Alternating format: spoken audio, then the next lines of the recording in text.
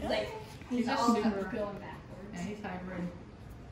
Like me and Daddy were saying, like it's important not to expect him to be like Pepper because she she was different. We raised her. We don't know how he was raised. It's weird. Oh. what was that? You're little like trying to be hot.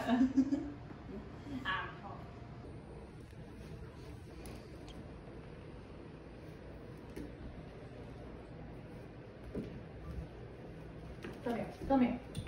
Come here. Come here. Come Is here. he like a raccoon you licked up? Come here. Yeah. Come here. Come here. I'm, I'm gonna put him on the couch. Come here.